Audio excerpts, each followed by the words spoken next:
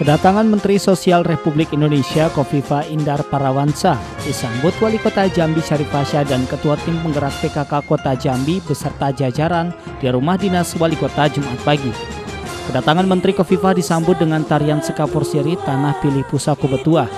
Menteri Sosial meresmikan launching layanan elektronik Warung Gotong Royong atau e-Warung kelompok usaha bersama program Keluarga Harapanku BPKH.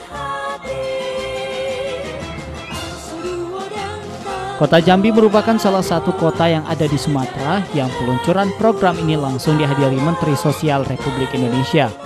Sehingga semua berharap bahwa kalau hari ini ada yang masih kekurangan, maka Allah Aduh, akan menganugerahkan limpahan rizki sehingga jadi sejahtera. Amin. Dalam kegiatan ini juga turut hadir Dirjen Kemensos, pihak BRI Pusat, Gubernur Jambi, Bulog, Sekda, dan seluruh SKPD di lingkup pemerintah kota Jambi. Dalam sambutannya wali kota, menyampaikan bahwa e-warung merupakan program luar biasa untuk mengatasi permasalahan seperti raskin dan lain. Dan e-warung juga untuk menghindari transaksi langsung dengan pemerintah, sehingga pemerintah tidak disalahkan. Wali kota juga banyak menyampaikan keberhasilan pemerintah kota dalam hal masalah sosial, seperti menutup Payosi Gadung dan memberantas kampung narkoba, sehingga angka pengguna narkoba di kota Jambi bisa diminimalisir.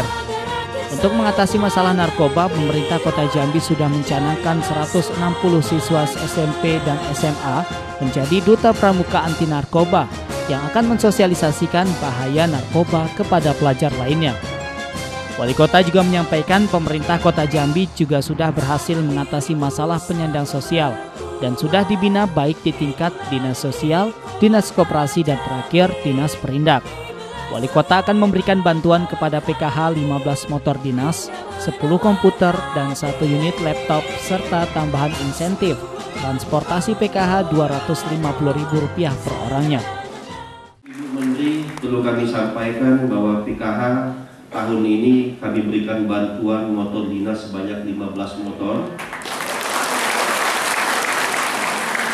Ada juga komputer 10 buah laptop satu buah dan tambahan insentif untuk PKH untuk transportasi sebesar 250.000 per orang insya Allah.